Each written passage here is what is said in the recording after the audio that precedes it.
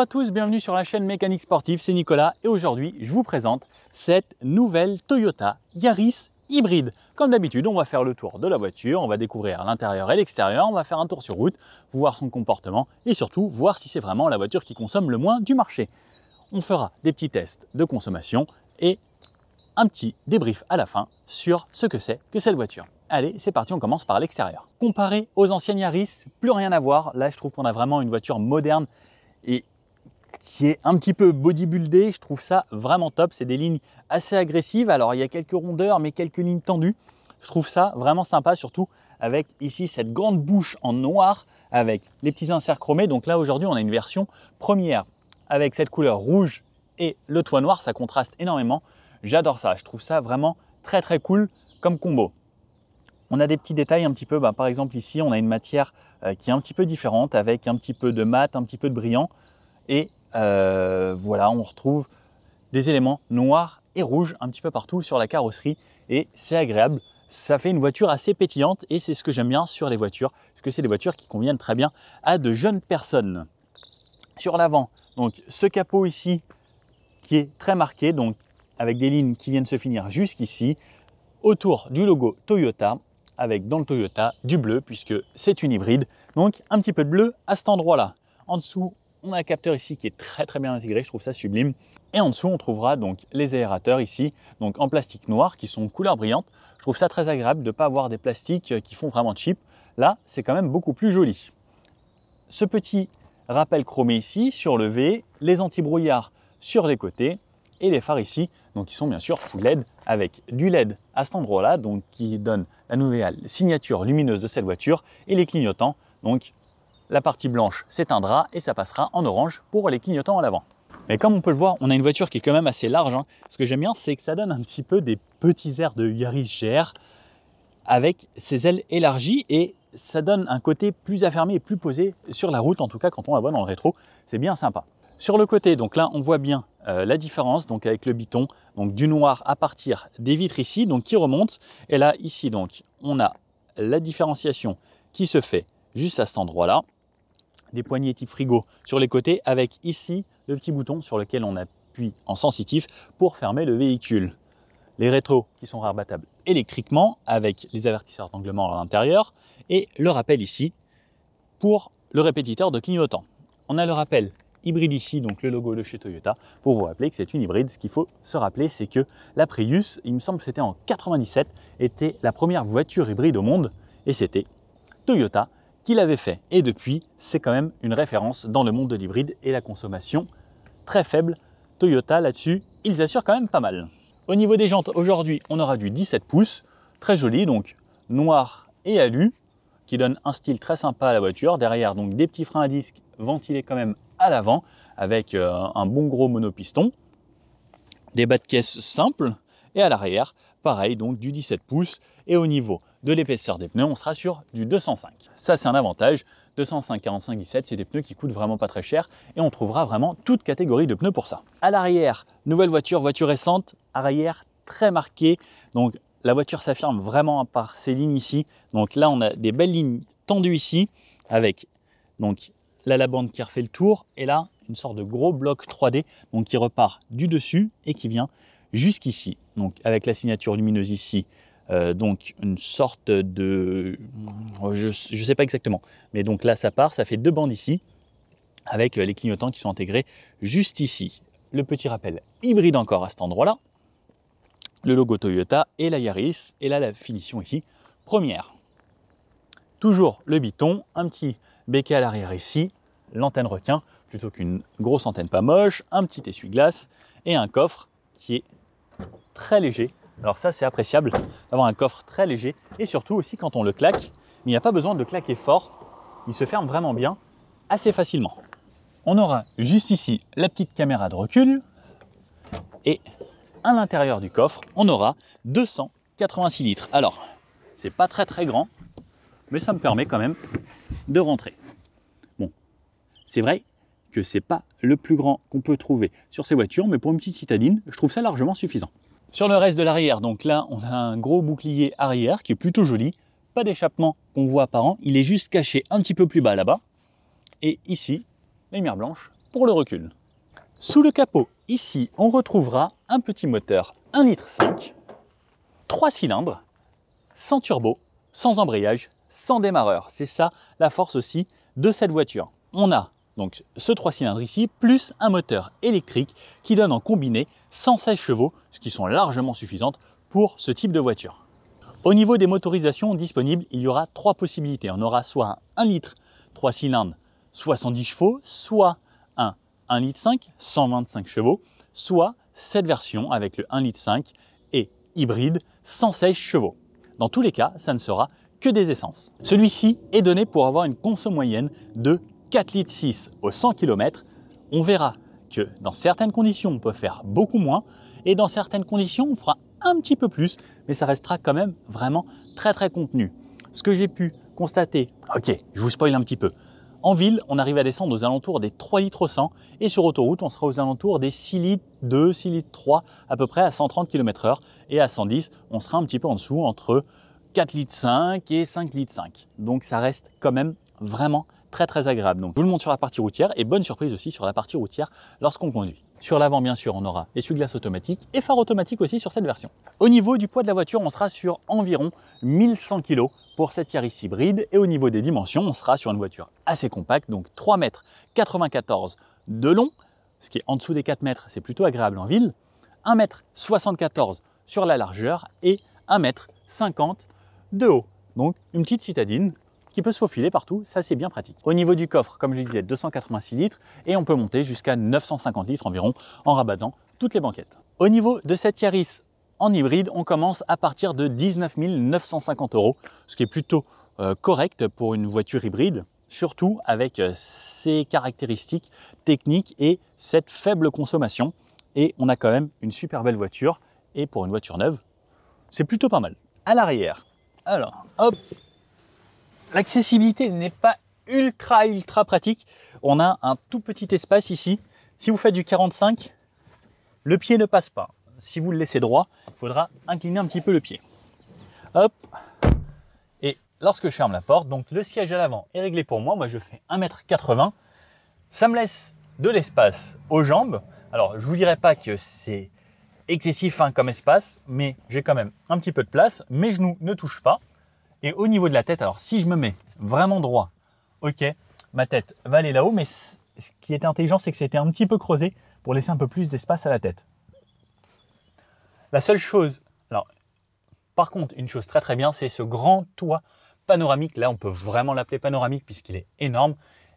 Ça amène beaucoup de lumière et ça fait qu'on sent tout de suite beaucoup mieux à l'intérieur. C'est vrai que si lui n'était pas là, on serait senti quand même déjà un peu plus étriqué. La sensation d'assise à l'arrière, au final, je suis très bien assis. On a euh, cette texture assez, euh, assez marrante, c'est une sorte de mousse tissu bizarre qui accroche assez bien. Donc au final, quand on est dedans, on est bien maintenu. On a ça à cet endroit-là et à l'arrière, en haut des sièges. Donc au final, on ne se ballottera pas et c'est pareil. Euh, le dossier est un peu creusé, tout comme la banquette ici, ce qui fera qu'on aura un bon maintien dans les virages. Sur les plats sur les côtés, on est plutôt bien. Sur la portière sur le côté, alors beaucoup de plastique, un petit peu euh, de tissu ici, des petits rangements pour une petite bouteille en bas, les vitres électriques, les vitres électriques qui sont à impulsion aux quatre coins de la voiture, et puis voilà pour cet endroit-là. À l'arrière, donc, pas de prise allume-cigare ou quoi que ce soit, il n'y a rien du tout. Par contre, ce qui est bien, c'est que le plancher est assez plat, donc on a ça sur le tunnel central, donc pour les pieds et la personne qui s'assiera ici, ce sera pas mal. Pareil, petit rangement ici pour la ceinture qui sert à rien quand il n'y a que 4 personnes dans le véhicule, ça c'est plutôt pas mal. Et la place du milieu, alors hop, pareil, hein, il n'y a pas énormément de place pour passer les pieds si vous avez des grands pieds. Et ici, alors là, par contre, j'ai tout de suite la tête qui touche. 1m80, c'est un peu trop. 1m60 ici, ça passera. Au final, au niveau du siège, le siège, pas ultra confortable. Hein. Ce sera vraiment une place de dépannage. Je vous conseille pas de traverser la France à cet endroit-là. Bon, ça fait quand même le job si on doit déplacer 5 personnes. Si ensuite vous avez les fixations isofixes des deux côtés sur les sièges et on a les banquettes rabattables en 40-60. Donc 60 de cette partie, donc qui amène la place du milieu, et 40 de ce côté-là. Au niveau des ceintures, on a les trois ceintures qui sont accessibles facilement, dont la troisième sur la banquette. Pas d'accoudoir au milieu. Voilà, à l'arrière, c'est une voiture très très simple. Alors, à l'avant, on y accède déjà tout de suite beaucoup plus facilement. On rentre dans la voiture et on s'installe confortablement. Lorsque je ferme ma porte ici, donc j'ai une portière assez lourde, ce qui gage souvent de qualité hein, quand on a du poids. On a une poignée assez spéciale sur le côté, mais que j'aime bien au final. Ça change euh, des poignées, bah, comme d'habitude, où c'est juste euh, une poignée. Comme vous pouvez le voir, donc moi je suis bien installé. Là j'ai vraiment de la place au niveau de la tête, donc j'ai les sièges réglables en hauteur, l'inclinaison du dossier, l'avance, tout est réglable. Le volant, pareil, en profondeur et en hauteur. Donc ça, ok. Au niveau des accoudoirs sur les côtés, bah, je suis bien. Donc cet accoudoir ici est plutôt bien placé et assez grand. Ça me permet d'avoir le coude et les mains sur le volant. On est plutôt bien. Je vais vous faire une vue point de vue conducteur directement pour vous montrer à quoi ça ressemble vu d'ici. Donc ça, c'est la vue conducteur. Donc quand on démarre le véhicule, on appuie juste ici les boutons power et on a les écrans qui s'affichent donc avec les logos Toyota à cet endroit-là. Le volant ici donc en cuir sur cette version avec les petites surpiqûres à l'intérieur. À gauche, on a ici les contrôles pour le volume, la commande vocale, retourner les menus et ça, c'est pour gérer les menus qui se trouveront en fond là-bas. Donc, on a tous les menus ici donc de radio, euh, les voitures, la pression des pneus donc qui va s'afficher. On peut avoir les réglages de tout ce qui est ici, de toutes les aides à conduite, si on veut activer ou désactiver, eh bien tout ça est accès aux paramètres du véhicule, donc à cet endroit-là. S'il y a des messages d'urgence, il vous les mettra là. Et les consommations. Donc là, comme vous pouvez le voir, la consommation qu'on a réalisée jusqu'à là, 4 litres 4 au 100 km. Sur la gauche, on a cet écran-ci, donc qui va vous donner le rapport engagé. Donc si vous êtes par exemple en parking, en reculé, en neutre ou drive ou B. Le petit EV, c'est pour vous signaler que vous êtes en électrique. Donc EV, c'est électrique véhicule. Ready, pour vous dire que la voiture est prête à rouler. Et ça, c'est la jauge qui va vous dire si vous chargez ou en gros une sorte de contour qui va aller jusqu'à power quand vous êtes à fond ici. C'est-à-dire que vous accélérez à fond. À droite, on a la vitesse, donc compteur en km heure, température du véhicule et la réserve d'essence. Donc regardez, là ce qu'il me dit, c'est avec euh, quasiment le plein, il me reste environ 469 km d'autonomie. On a l'affichage tête haute, alors je ne sais pas si vous allez voir, mais on a un très bel affichage tête haute qui est assez grand à cet endroit-là et qui est très bien placé, qui fonctionne grâce à ça en reflet sur le pare-brise. Sur le côté, on a ici les vitres, donc impulsion pour les quatre, les rétroviseurs qu'on peut régler juste là, de la ventilation. Donc on a quatre aérateurs dans la voiture. Voilà la poignée donc assez atypique qu'on voit donc qui est fermée de ce côté-là et on a juste à glisser sa main dedans. Donc on peut y ranger quelques petites choses et la poignée d'ouverture qui se trouve ici qu'on tire de cette façon. Ici, on a des rangements, on pourra mettre une bouteille et là, les réglages des phares. Ça, c'est pour les phares. Donc, on a bien sûr phare automatique et les clignotants. Et à droite, essuie-glace. On a bien sûr aussi les essuie-glaces automatiques.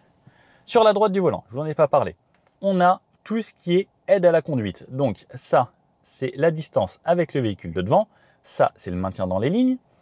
Limiteur, régulateur de vitesse ici. Raise ou set, ça c'est pour régler la vitesse que vous souhaitez. Cancel, c'est pour annuler. Mode ici, c'est pour la radio, donc en gros le bas, ici ça c'est volume, et ça c'est le mode. Donc là vous choisissez le Bluetooth, la radio DAB, la radio FM, et vous changez ici de chaîne avec ça. Et le volant, donc on a deux grosses branches ici, plus une sorte de grosse troisième ici, avec un trou au milieu. Sur la droite, cet écran qui est maintenant bien placé, en hauteur, qui permet de ne pas trop détourner eh bien, son attention lorsqu'on regarde ici. On a juste à regarder là et on peut toujours avoir un œil sur la route. Donc, un écran tactile ici avec une touche Home et on peut avoir euh, des configurations et autres. Ici, le menu, l'audio. Donc ça, c'est pour les radios. La carte. Ok, il n'y a pas de carte sur celui-ci. Et ensuite, donc téléphone, setup, etc. Donc là, on a les réglages pour le Bluetooth et autres. Donc Home. Alors, c'est pas forcément le meilleur système que j'ai vu jusqu'à là, mais dans tous les cas, il fonctionne bien.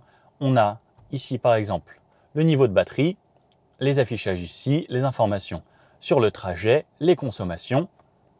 On a le principal. C'est pas forcément ce qu'il y a de plus beau et de plus réactif, mais tout ce dont on a besoin. Et là, on peut bien sûr connecter grâce à l'USB juste ici, l'Android Auto ou l'Apple CarPlay. Quand on redescend, on a les aérateurs, ici un endroit où poser son téléphone. Alors ce que j'aime bien dans cette voiture, c'est qu'on peut poser son téléphone. Ici, on peut poser son téléphone. Ici, on pourra le poser comme ça dans la portière. On pourra le poser à cet endroit-là qui est fait pour donc pour recharger ici en induction. Donc on allumera avec le petit bouton ici chargeur induction. On pourra le charger avec son câble USB lorsqu'on le pose là ou là. Et on pourra même le remettre à cet endroit-là, ici encore.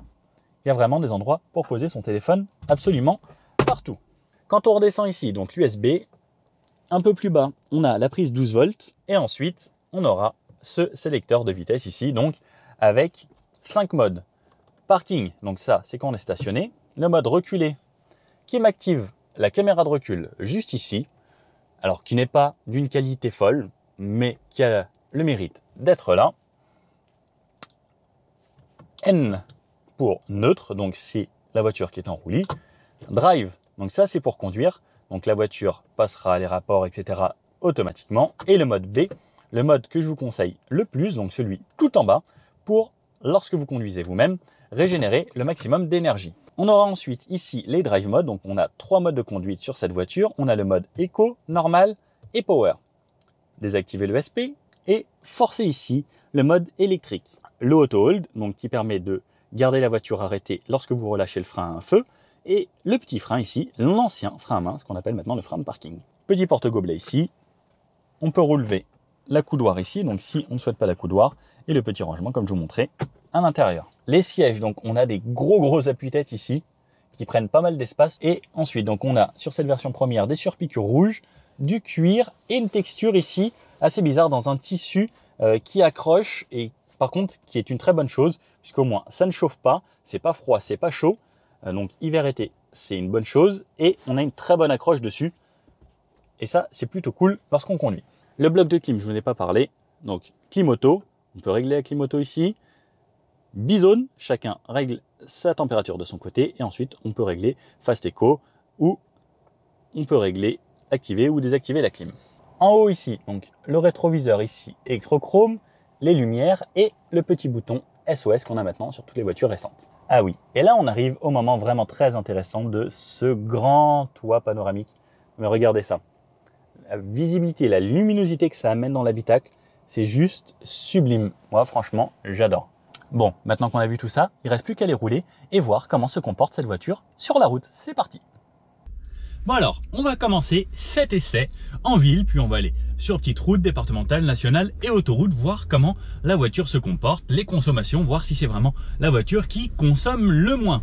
Donc, on est dans la version hybride comme on a dit, donc lorsque je démarre, pied sur le frein, bouton, le bip, c'est pour vous dire que la voiture est démarrée, donc il n'y a absolument aucun bruit. C'est ça aussi le gros avantage de l'hybride, c'est que c'est silencieux lorsque c'est en mode électrique. Là, elle vient de démarrer, puisqu'il y a la clim d'activer. Il n'y avait plus beaucoup de batterie. Alors, je vais remettre le compteur à zéro pour les consommations. Et hop Donc, j'ai ma caméra de recul qui s'affiche ici. Donc, j'ai deux modes pour conduire. Comme on avait dit, on a soit le drive, soit le mode B. Donc, le mode B, ça permet de récupérer de l'énergie et le mode drive, c'est juste conduire en mode drive comme toute autre voiture. Donc, la direction, première chose qu'on peut noter, c'est que c'est assez facile à manier, euh, pas de souci. Le bruit du moteur, on l'entend un petit peu, donc là la voiture est assez froide. Et on a une boîte automatique ici, donc avec les rapports qui se passent tout seul. On n'a pas de possibilité de choisir le rapport qu'on souhaite. Donc c'est la voiture qui va gérer toute seule. Là par exemple, c'est repassé en électrique. Lorsque c'est en électrique, j'ai euh, une petite indication EV ici en vert qui permet de savoir eh bien, que la voiture roule en électrique. on a plusieurs modes de conduite. On a le Eco, normal et Power. Moi, le but, hein, c'est euh, avoir une voiture hybride, c'est de conduire le maximum possible en mode Eco. En mode Eco, si vous y allez vraiment très doucement sur l'accélérateur, la voiture restera le plus possible en mode électrique. À l'arrêt, on a deux choix. Soit on reste appuyé ici, soit on a le petit bouton Hold. Donc quand j'appuie sur Hold, ça me l'affiche ici. Et là, je peux lâcher la pédale et la voiture ne va plus bouger, qu'on soit en côte comme ça ou sur du plat, même léger plat. Vous n'avez plus besoin de tenir la pédale de frein. Donc on a le mode drive et le mode B. Là, je vais me mettre en mode B qui va récupérer en plus de l'énergie lorsque je vais rouler. Donc je roule, à partir du moment où je relâche le pied de l'accélérateur, ça fera une sorte de gros frein moteur. Ce qu'il faut savoir, c'est que ces tout petits moteurs, eh bien, il y a très peu de frein moteur. Et grâce au moteur électrique, justement, on va pouvoir récupérer l'énergie. Donc là, le départ se fait en électrique. Et comme je reste appuyé très légèrement sur la pédale, ça reste en électrique. Et là, au bout d'un moment, la voiture gère vraiment toute seule. C'est elle qui va gérer les phases accélération, si elle a besoin de thermique ou pas. Et là, dès que je relâche, le moteur s'éteint, mode récupération d'énergie, et je gère juste avec mes pédales de droite. On ne peut pas régler la puissance du freinage en mode B, mais souvent, lorsque on anticipe assez bien, eh bien on arrivera au feu quasiment à une vitesse très très basse, à 10-15 km h et il ne sera plus qu'à freiner sur les derniers mètres. Et lorsque je veux relancer, ça relance correctement. On est plutôt bien dans cette voiture aussi. On sent pas forcément la vitesse quand on est à 50, et bien ça roule vraiment tout seul on a une bonne position de conduite. Le volant est réglable, comme je disais, donc en hauteur et en profondeur. En virage, hop. On a une direction qui se manie vraiment bien. Le volant est agréable au toucher aussi. On a des bons coins pour les pouces ici. Donc là, par exemple, Dodan, eh ben, je freine pas. Je ralentis juste en ayant relâché. Et en même temps, ça me permet de recharger. Et en roulant de cette façon, eh bien là, c'est là que vous allez faire vraiment le plus d'économie de carburant possible puisque à chaque fois que je relâche, le moteur s'éteint et ça me recharge mes batteries. Et là, on va vraiment descendre à des consommations le plus bas possible. Et à l'arrêt, silence, ça c'est très plaisant. Va voir en descente le frein moteur, ce que ça donne avec les moteurs électriques. Donc là par exemple, on a une grosse pente,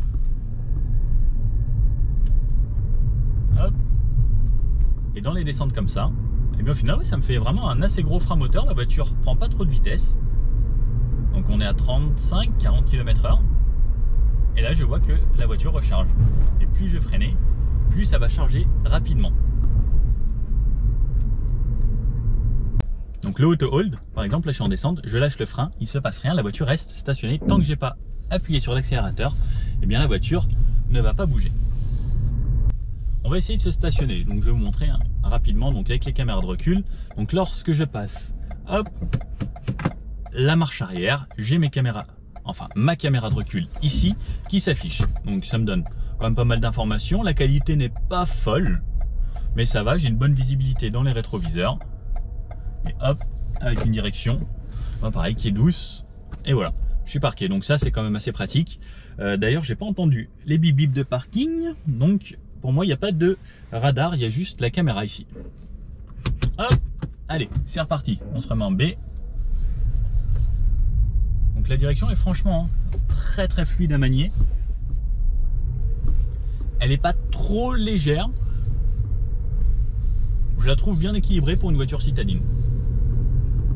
Au niveau de la suspension, on a une voiture qui est quand même assez, ferme mais qui filtre assez bien les petits défauts. Les virages, par exemple, on voit qu'on est bien maintenu dans les sièges, qu'au final, là, le, petit rembourrage qu'on a ici et la petite remontée sur euh, les lombaires et au niveau du dos, elle remonte assez, plus on a cette texture ici qui maintient franchement bien et qui fait en sorte qu'on ne glisse pas du tout. Et dans les virages, la voiture, eh bien, elle ne se tasse pas trop. On a quand même, comme je disais, une suspension assez ferme. Et ça, c'est plutôt bien. Parce que là, hop, par exemple, voilà. La voiture, elle va pas se balloter dans tous les sens. Ça, c'est plutôt agréable. Ensuite, ce qu'il faut savoir, et euh, je l'ai découvert en cherchant un petit peu, lorsque je suis en mode B, la voiture ne veut pas mettre le régulateur adaptatif. Il faut être en mode D. Et là, je peux activer donc mon régulateur adaptatif seulement à ce moment-là, avec le maintien dans les lignes. Donc là, hop, je mets 50 km/h et le maintien dans les lignes. Donc là, je peux ne plus toucher à rien et la voiture conduit toute seule. Mais ça, ça marche seulement en mode D. Alors j'aimerais bien savoir pourquoi, parce que c'est quand même vraiment dommage qu'en mode B, ça ne fonctionne pas, puisque concrètement, quand vous êtes en D ou B, c'est juste de l'électronique. J'aurais bien aimé que Toyota fasse une petite mise à jour là-dessus pour que ça puisse fonctionner en mode B, parce que si je suis en mode B, j'ai pas envie de forcément repasser sur le drive pour pouvoir activer ça. Puisque si je veux rouler sans pour récupérer le maximum d'énergie, j'aimerais bien que ça fonctionne dans les deux modes. Alors ça, pour une citadine, c'est quand même l'idéal. Parce que c'est des voitures qui vont faire beaucoup de villes, beaucoup de bouchons, le trafic, et le fait d'avoir ça, la voiture va s'adapter à ce qu'il y a devant. C'est hyper agréable. Si vous êtes sur le périph' dans les bouchons, eh bien vous avez juste à tenir le volant, et encore, puisque la voiture se maintient entre les lignes. En France, il faut quand même garder les mains sur le volant. On n'a pas le droit de laisser la voiture conduire totalement seule. Mais qu'est-ce que c'est agréable Regardez, là par exemple, ça ralentit devant. Eh bien, je ne touche pas du tout, à mes pieds ne sont pas du tout sur les pédales. La voiture s'adapte. Et ça, c'est quand même hyper agréable.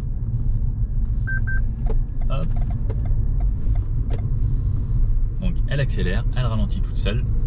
C'est le top. Elle a la reconnaissance des panneaux. Donc, lorsqu'elle va voir 50, 70 et autres, elle va vous l'afficher. Et si vous voulez valider, plutôt que de rechanger directement et appuyer plusieurs fois pour aller jusqu'à la vitesse indiquée, eh bien vous aurez juste à appuyer sur 7 en restant appuyé et ça validera la vitesse. Par exemple là j'arrive sur une zone 30, donc là c'était 50, elle va me l'afficher et si je reste appuyé sur 7, la voiture se règle à 30 km h Donc elle me l'affiche dans l'affichage tête haute et ici. Donc là je suis à 30 km h et je respecte l'imitation juste en ayant appuyé sur un petit bouton sur des petits pavés à 30 km h c'est plutôt confortable.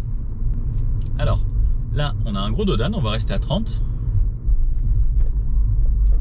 Alors, ça reste confortable, hein. c'est franchement euh, une suspension qui est bien faite. Alors là, depuis le départ, on a fait que de la ville et je suis à une consommation moyenne de 3 litres 8 au 100 km. Donc, en utilisant le mode B et un petit peu de régulateur adaptatif. 3 litres 8, c'est quand même euh, bien sympa. Hein. Donc là, on va voir, on va continuer cet essai sur national et sur autoroute à 110 km/h.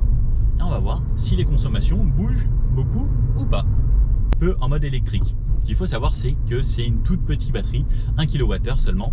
Donc, il faut pas s'attendre à faire 20 km avec. Il hein. faut compter plutôt entre 1 et 3 km selon euh, si c'est vraiment plat et selon comment vous allez appuyer sur la pédale d'accélérateur. On va aller sur national. Je vais rester en mode éco pour le moment. Donc ça accélère plutôt bien. Donc on a 116 chevaux comme on disait sur cette voiture. On a le moteur qui monte assez haut dans les tours. C'est souvent le cas avec des boîtes automatiques pour vraiment euh, vous élancer. Et ensuite dès que vous relâchez un petit peu, et eh bien là la voiture passe les rapports. Donc 70, hop, allez, j'accélère fort jusqu'à 90 et à 90 donc comme je disais je me remets en mode D pour pouvoir avoir le régulateur adaptatif donc le régulateur j'appuie une fois ici et ensuite je règle ma vitesse juste en dessous donc là on est sur une route assez bruyante hein, c'est euh, un vieux goudron on entend quand même pas mal euh, le bruit du roulement dans l'habitacle mais dès que ça repasse sur du goudron un petit peu mieux, c'est quand même déjà plus agréable. Donc on a ici aussi les informations euh, par rapport à la consommation en temps réel. Donc on peut voir que là à 90, on est entre 5 et 6 litres au 100 à peu près en roulant à vitesse stabilisée. Je suis quand même à 90 km/h, donc la voiture a rechargé et à 90 km/h, eh bien, je suis en mode full électrique actuellement. Et là, c'est repassé en mode thermique et la voiture va jouer comme ça d'elle-même pour faire baisser la consommation au maximum. Donc elle va prendre les moments où ça roule bien pour recharger. Dès qu'il va avoir une petite descente, elle va recharger un petit peu. Et dès que ce sera facile pour elle et qu'il n'y aura pas beaucoup à forcer, eh bien la voiture va à ce moment-là, elle, passer en mode électrique de son plein gré. Donc là, ça a baissé, 70, 50, là ça me dit de valider 50, je valide 50, et la voiture repasse à 50, juste en ayant appuyé sur le bouton 7.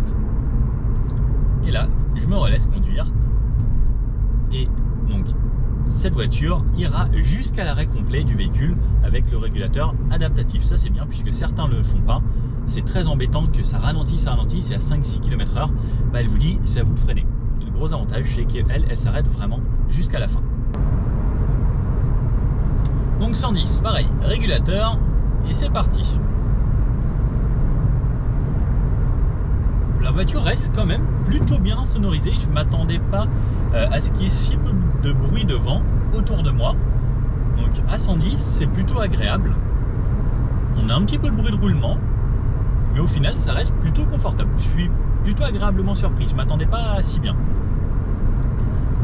Donc là, ça roule tout seul. Lorsque le moteur euh, thermique tourne, on l'entend un petit peu. Si on y prête vraiment attention, mais si vous mettez un petit peu de musique, vous n'allez pas l'entendre.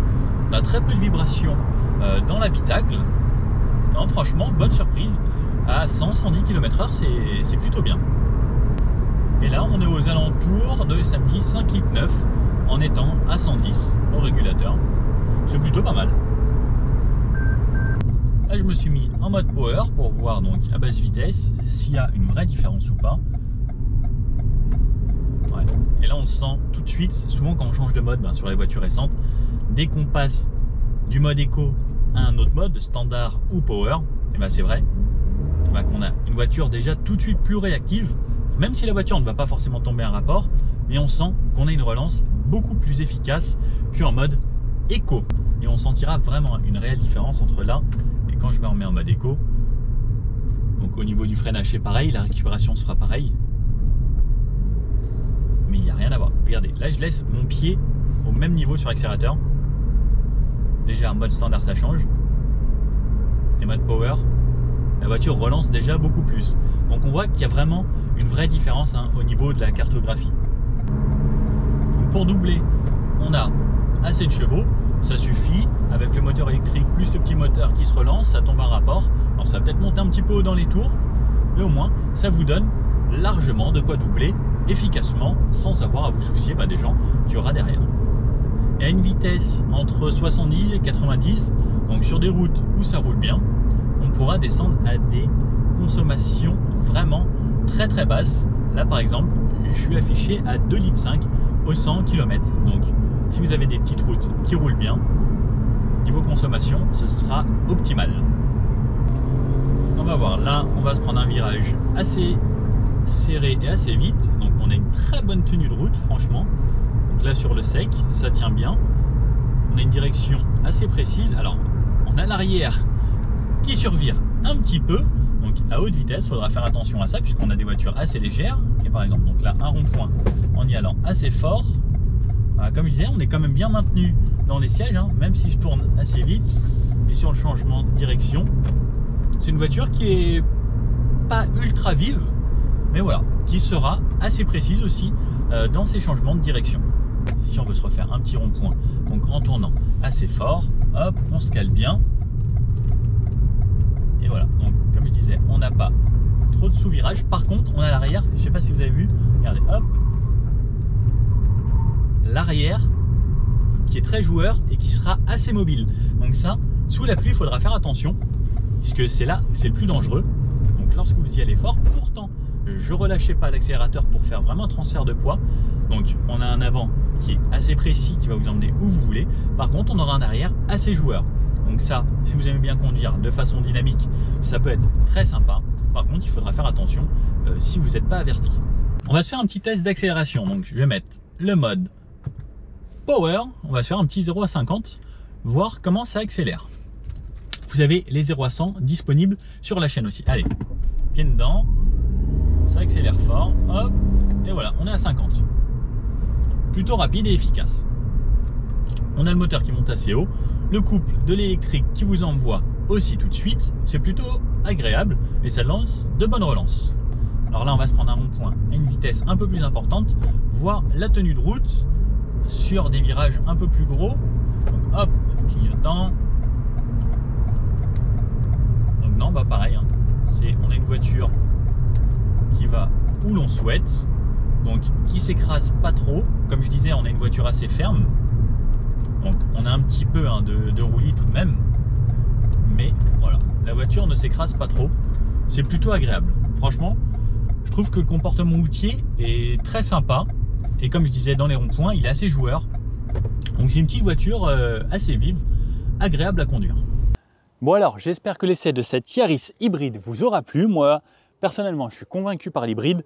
Je trouve ça idéal. Comme on a pu le voir pendant l'essai, les consommations annoncées, c'est très très rare qu'un constructeur annonce des consommations et qu'on y arrive vraiment.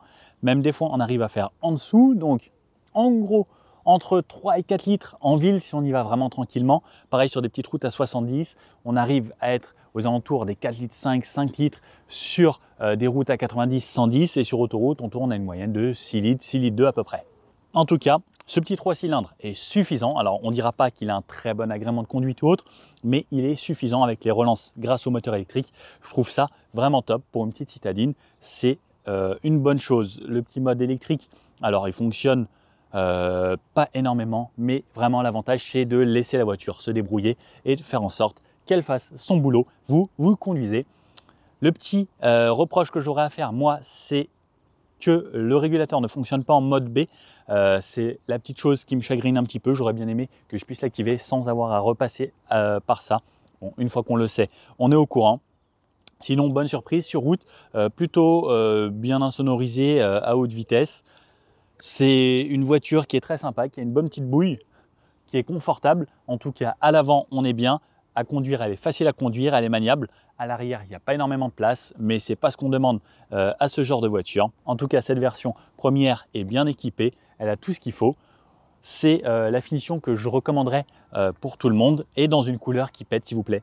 Si vous suivez la chaîne, vous savez que j'aime bien les couleurs dynamiques qui soient euh, flashy et qui donne le sourire quand on voit cette voiture. Et ben, c'est rouge, on est content. Enfin, on voit de la couleur rouge, jaune, bleu, ce que vous voulez. S'il vous plaît, arrêtez de nous mettre des voitures tristes sur le parc français.